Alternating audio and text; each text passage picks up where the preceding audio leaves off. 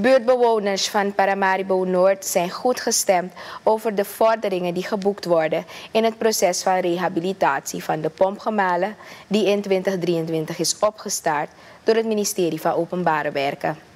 In Paramaribo Noord gaat het om de pompgemalen Leonsberg en Morgenstond, waarvan de gebouwen bij deze pompgemalen onlangs zijn gerehabiliteerd.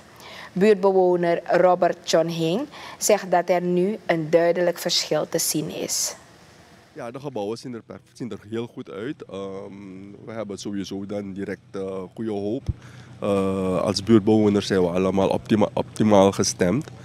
Ehm, het laatste moet nog natuurlijk plaatsvinden, dus dat eh, de, de pompen geplaatst worden en dat we dus dan eindelijk van wateroverlast verholpen zullen worden. We hebben dus dat eh, grote wijken in vooral Paramaribo Noord onder water raken. En dat het lang duurt voordat het water is afgevoerd. Zoals ik heb begrepen zullen er hogere capaciteit pompen geplaatst worden en meer pompen. Met als gevolg dus dat het water sneller eh, eh, verholpen zal, tenminste weggetrokken, weg, afgevoerd zal worden.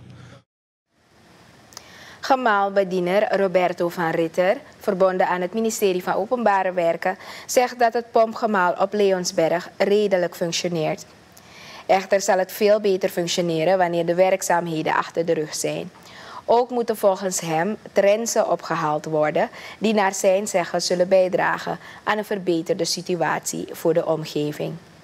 Ja, zeer zeker. Wat uh, al lang moeten gebeuren dat er vernieuwing aan deze pomp gemalen, aangebracht moest worden. Nou, het zal goede voordelen hebben. Wat in de, de, vroeger was er maar twee pompen, maar nu gaan ze drie aanbrengen. Dus het wordt zeker beter. Dus het gaat goede voordelen hebben voor de omgeving.